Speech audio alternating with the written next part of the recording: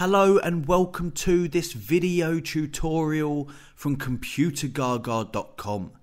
And in this video, we are going to look at how to count the occurrences of a date between two dates. So I was asked on a training course recently by someone who had a list of start and end dates like I do in columns A and B at the moment and they wanted, by using an Excel formula, to find out how many occupancies there were on each given night, on a date in that night.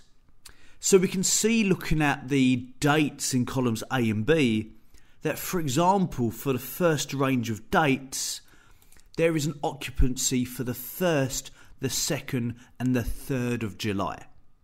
They're not staying on the 4th because that's the end date. That's when they check out. And then we've got the occupancy for the second and the third only, and so on. There's an occupancy on the fourth and the last one.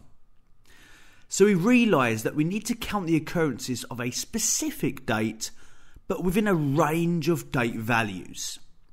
So as soon as I thought of that, that I had an array of dates, I thought of my good friend Sum Product one of my favourite Excel functions and is perfect for working with arrays and performing this type of intense conditional logic.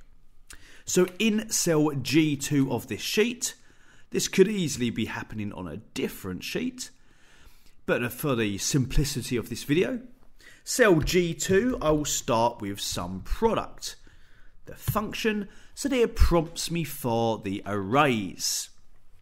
So if I zoom in on that, we can see the prompt for the arrays in here. I will open a bracket for this first array and ask it if the value in cell F2, the first date I'm checking, the 30th of June, if it is greater than or equal to the start date values. So is it equal to it, because staying that night, or greater than it? So over we go to the start dates and I will select all of them, so an array of start values, and I'm going to press my F4 keyboard shortcut, and you can see in my formula bar absolute reference. Close off that bracket, and I shall put in the asterisk to create this AND logic between the next array, open bracket, where I would like to test if that date, the 30th of June, is less than the end date values.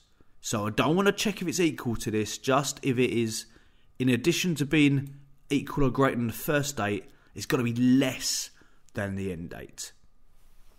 F4 to make that reference absolute, close off that array, close off the sum product function. And if I run that function, we have no occupancies for the 30th of June. That is correct. Let's see what happens when we copy it down. Boom. That's what we wanted. There is an occupancy for the 4th of July. There are two here. Sorry, not two. There are four for the second and the third. And it's just two occupancies for the first. Row 2 and row 5. That is working.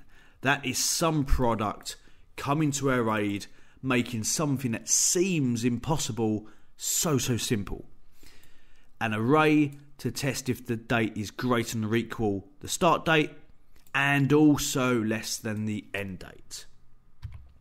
I hope you found that video useful. Please check out some of our other video tutorials at our YouTube channel and come check us out at computergaga.com.